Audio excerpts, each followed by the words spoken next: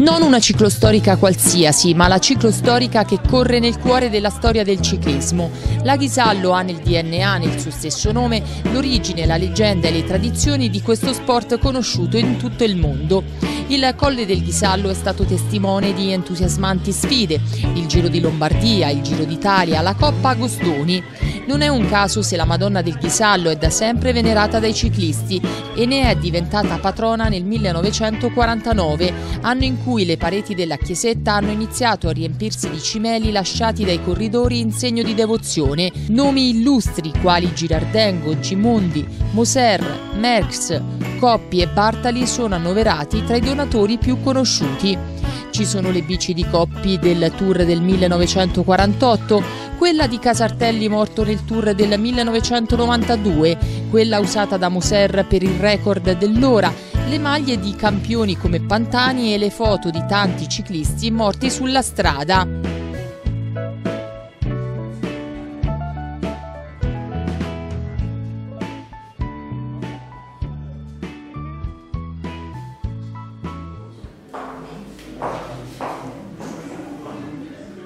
Al lato del santuario si apre un immenso balcone con la vista sulle montagne lombarde, ma anche su una fetta di lago. Immancabile la visita al museo omonimo.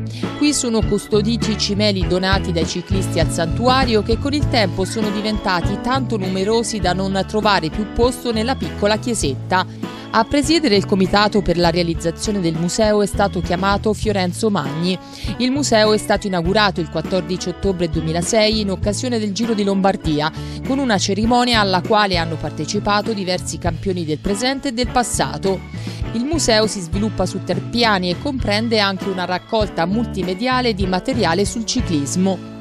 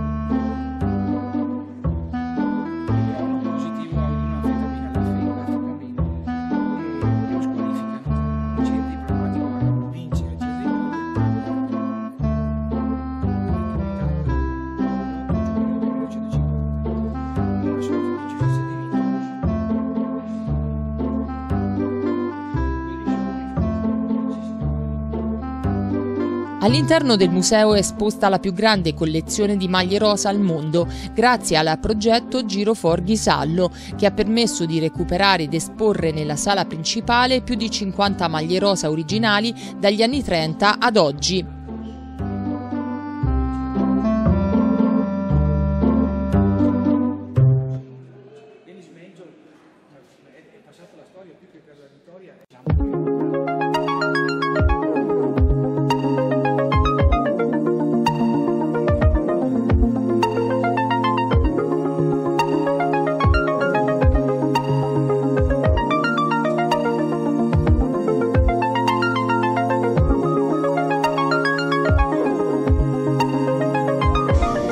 Buongiorno a tutti, siamo alla Ghisallo, siamo in questo meraviglioso tempio del ciclismo che è appunto il santuario e il museo del Ghisallo e con noi abbiamo Antonio Terragni, il presidente della Polisportiva Ghisallo, nonché patron di questa bellissima manifestazione.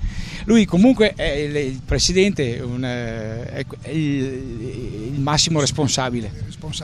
Allora, Antonio, questa Ghisallo come, come sarà? Beh, eh, già oggi abbiamo fatto il primo pezzo. Eh, quest'anno il nostro slogan erano due al prezzo di una, due ciclostoriche al prezzo di una. Quest'anno siamo partiti da Magriglio questa mattina, abbiamo fatto Sormano, eh, un piccolo rinfresco, ci hanno accolto bene, siamo scesi a Lecco, altra esibizione con i ciclostorici, in piazza 20 settembre, una piazza bella perché è solamente passaggio pedonale, ci hanno accolti bene, siamo ripartiti, siamo a Bellagio. E qual era la formula di questa manifestazione di questa mattina? E la formula mm, è, la solita formula delle varie ciclostoriche, cioè sono delle passeggiate in amicizia, solo che quest'anno abbiamo inserito la scalata da Bellagio a Ghisallo, che è una cosa nuova per le ciclostoriche. E anche abbastanza dura? Abbastanza dura perché sono 14 km, eh, 11 km esattamente, con 14% massimo di pendenza e abbiamo fatto squadre da 6 atleti per, eh, ed ogni atleta faceva circa un chilometro e mezzo, perciò erano cinque cambi, il sesto è quello che arriva su qua da, da Civenna, arriva su qui a Ghisallo. La parte più dura è quella di partenza, da Visniola c'è il pezzo con il mulino del Perlo che proprio parti a freddo e c'è la pendenza maggiore. La parte più bella è quella dalla chiesetta di Guello e si arriva a Civenna, che si può dire che è pianeggiante, c'è anche dei pezzini abbastanza in discesa e l'ultimo strappo qua è impegnativo. E invece domani si parte da Monza? Domani, in occasione del centesimo anniversario della Gazzetta Sport che ha organizzato il Giro d'Italia, eh, si parte dall'autodromo Monza, 11.30 giro all'interno dell'autodromo, eh, poi si mm, esce dal Golf di Monza e si passa a Biassono, i vari paesi della Brianza e si arriva a diversi saliscendi, perché la Brianza è fatta tutta di, di saliscendi e si arriva al mm, lago di Pusiano, si sale, eh, Upiglio, lago del Segrino, un pezzo di sterrato, a Canzo c'è il secondo ristoro, il primo è a Monticello Brianza, il secondo è a Canzo. E, e abbiamo poi l'arrivo qua eh, previsto intorno alle 15 e 15 15 30 bene poi pranzo finale tutti insieme qui al Ghisallo il pasta party. Questa sera eh, però abbiamo una pericena una pericena eh, che inizia alle 19.30 al museo e sono invitati tutti i ciclostorici e i personaggi che sono qua, il mercatino, tutte queste cose. Domani c'è invece il pasta party, oltre ai due punti storici, il pasta party alla Ghisallino, un ristorante nostro partner anche lui per questa ciclostorica.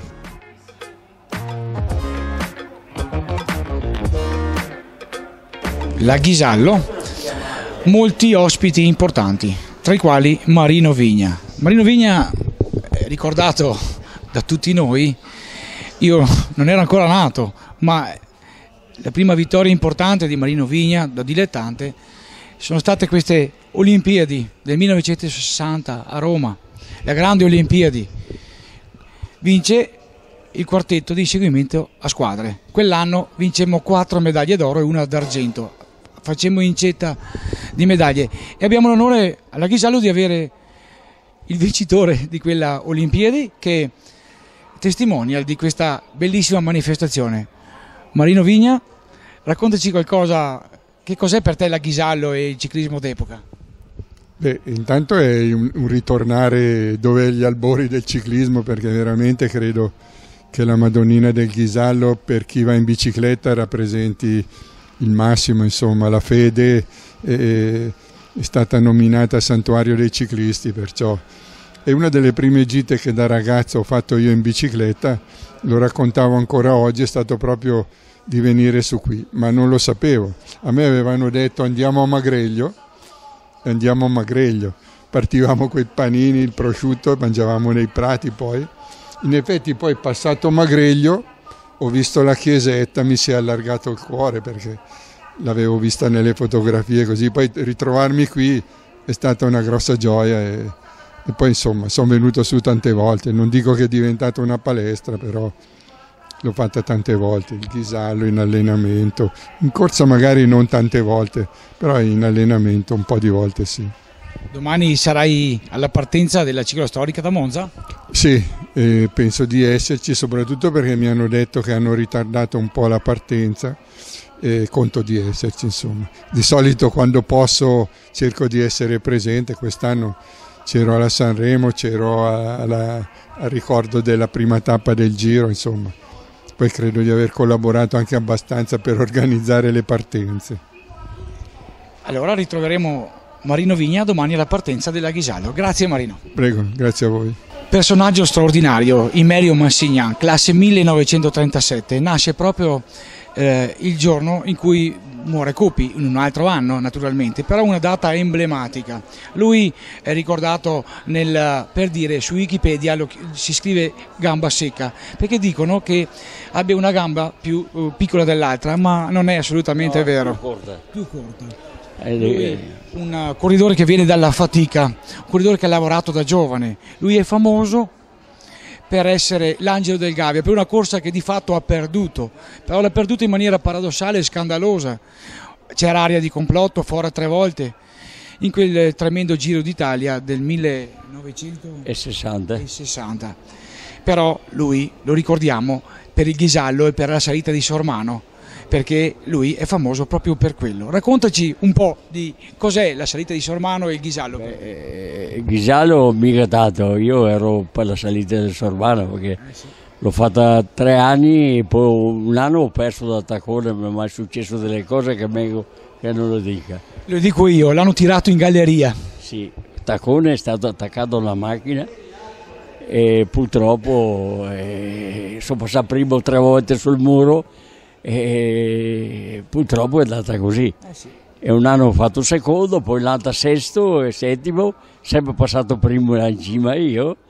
E purtroppo mi hanno invitato adesso qua, sono venuto volentieri, eh, perché è un posto poi che insomma è, è un mito il muro di Sormano, però è un mito anche al Giro Lombardia e, e il Ghisallo allora vogliamo raccontare un altro aneddoto. Allora lui ha vinto poco nella sua carriera, ma era, lui è stato forse il, lo scalatore italiano più forte di tutti i tempi. Però non era abituato a vincere. Pensate che al Tour de France, a Super Bagnères, un giorno ha vinto quella tappa, ma succede una cosa stranissima e paradossale. Cosa succede? Niente, che io vincevo poco, però ero sempre piazzato. E io il giorno prima avevo vinto Callese e ci ho tirato la volata che se io non scatto gli ultimi due chilometri Callesi mi batteva anche lì. Sono andato via e ho trovato un vento contrario che ribaltava le biciclette e sono arrivato che non c'era neanche l'ordine dell'arrivo. L'uragano ha spazzato via lo striscione e il palco dell'arrivo. Dicevo poco e poi anche quella roba lì. E boh. Comunque, senti, io ho fatto parecchio, però con la forza che avevo io potevo fare di più devi considerare che io ero sempre, io vedevo i corridori gregari la mattina e poi li vedevo la sera, li vedevo poco in corsa. E cosa ho fatto? E poi ho vinto tre maglie a Poa Tour de France, ho vinto una tappa, insomma ero sempre piazzato, ho fatto un quarto campionato del mondo, primo degli italiani, all'Ipisa in Germania, e purtroppo eh, bisogna che mi contenta. Che tra l'altro eh, l'anno scorso lui è stato insignito della cittadinanza ehm, della città al muro. al muro di Sormano e pensate che lui era il simbolo del muro di Sormano. Addirittura il sindaco allora gli aveva promesso per premio un pezzetto di terra che lui non ricevette mai, ma lo sapete perché? Ve lo dirà lui. No, è successo che io avevo appuntamento con una ragazza di Milano, ho detto ma vengo domani, invece domani ho sbagliato, dovevo andare a prendere, mi dava 500 metri di terra che dopo, dopo tanti anni aveva un valore, eh sì, eh hai sì. capito? Va bene, dai su. Un personaggio straordinario che vedremo anche domani alla partenza. Grazie Merio. Ciao. Museo del Ghisallo, personaggi straordinari come Mary Cressari, classe 1943 di Brescia. Lei vince 5 campionati italiani, ma è legata al mondo della storia del ciclismo per un record fantastico al Vigorelli. Lo vuoi raccontare Mary? Sì, eh, partiamo allora da, dall'inizio. perché dall'inizio. ho vinto la prima gara organizzata in Italia del ciclismo femminile che prima non esisteva e questo esatto. nel 1962 con, poi come seconda gara abbiamo fatto i mondiali di Salò e ho proseguito fino a, ad arrivare all'84. Poi nel 63 ho vinto il Lombardo, 64 il campionato italiano, 65 mi sono sposata, 66 ho fatto un figlio, 67 ho ricominciato e ho proseguito vincendo un altro campionato italiano nel 72, coronato anche da quattro record mondiali a Città del Messico, di cui il record dell'ora. Il 74 quello? 72. 72. Poi nel 73 ho vinto di nuovo il campionato italiano su strada, quello su pista e veniamo al 74 quando ho fatto il record dei 100 km. Siccome c'erano i mondiali in Canada, hanno detto che le italiane non erano all'altezza delle straniere, no? Io dico, ho quattro record mondiali, penso di essere all'altezza delle straniere, invece no, allora mi sono preparata per fare il record del Vigorelli, 100 km. E sei tolta questo grosso sassolino dalla scarpa. Nonostante che dopo 35 giri ho bucato, ho dovuto cambiare bicicletta e il mio allenatore mi ha detto che se avevo recuperato nel giro dei 20 giri, allora sì, altrimenti mi fermavo e lo ripetevo. Invece l'ho battuto per 3 minuti e 40 secondi. E poi, eh, dopo queste straordinarie imprese, hai avuto anche un ruolo come dirigente, come... Sì, ho fatto, ho, fatto la, ho fatto, il direttore sportivo per tre anni in squadra femminile e due anni ho fatto il commissario tecnico della nazionale. Che fino ad allora anche questa sei una specie di pioniera, no? Sì, perché non era mai esistita una donna a fare il commissario tecnico, solo che non ho potuto come si dice, farlo fino in fondo perché all'ultimo momento avevo preparato le ragazze per andare alle Olimpiadi a Los Angeles, non le avevo mai fatte come atleta perché non esistevano, potevo farle come dirigente, solo che hanno scelto quattro la Canins con tre ragazzine di 15 anni hanno lasciato a casa tutte le mie, nonostante mi avessero già fatto preparare i passaporti, tutto, no? Ma alla fine mi hanno lasciato a casa. Lì detto, è inutile che io sto qua a buttare via il tempo, per chi sono stata lì due anni a prepararle, a corrergli dietro e poi alla fine me le lasci a casa. Ho dato le dimissioni e non sono più andata a vedere una gara di donne. Hai fatto bene perché come da sempre le donne sono figlie di un dio minore nel ciclismo. Ho già combattuto quando ho iniziato io a correre. Ho dovuto combattere quando correvo, combattevo per le mie atlete perché io non correndo combattevo per loro e poi ci tagli le ali così. Allora arrangiatevi, andate avanti voi. Però Mary ha un posto nel cuore di tutti noi, ma soprattutto guardate la sua bicicletta conservata qui al Museo del Ghisallo. E Mary è qui per questa bellissima manifestazione e domani sarai anche con noi alla partenza, sì? Penso proprio di no domani perché domani compie gli anni mio figlio, 51 anni fa. Allora sei giustificata. Comunque ti ringraziamo di essere qui oggi e grazie per la disponibilità per noi di Grand Tour TV. Grazie a voi. Per la ciclostorica è tornato anche il mercatino vintage dedicato alle biciclette d'epoca, agli accessori preziosi e alle curiosità di un tempo. In mostra anche i prodotti tipici dei monti e delle valli.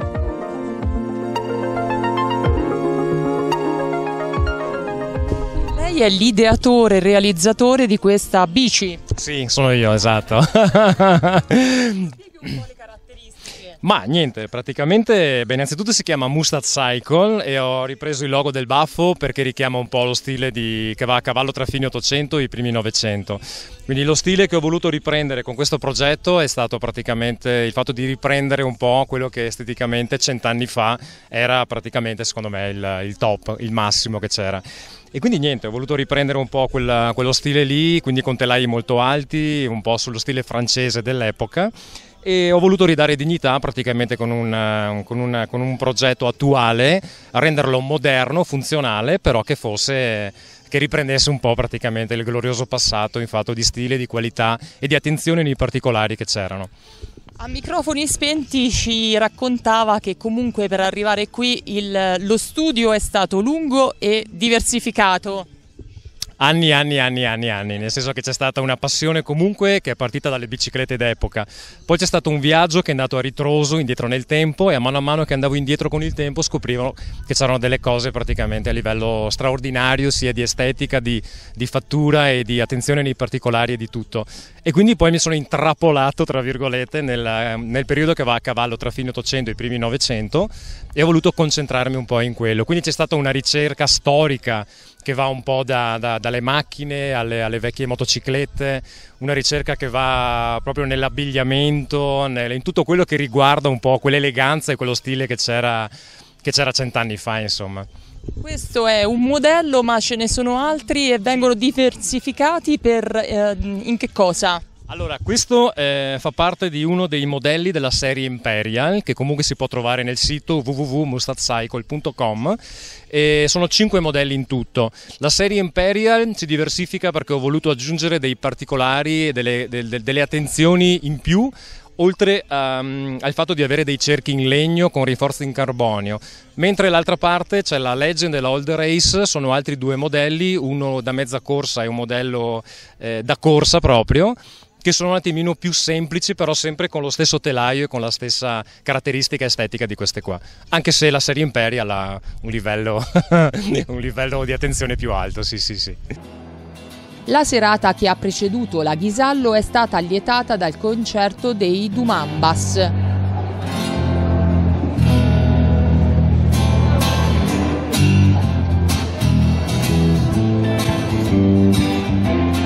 Claudio Malfatto, voce e chitarra, Cat Marino Galli al basso, Riccardo Fancini alla chitarra hanno dato vita al gruppo nato nel 2010. I Dumambas hanno abbracciato subito e in maniera definitiva il genere teatrale folk dialettale. Insomma, come amano chiamarlo, il teatro canzone milanese dintorni.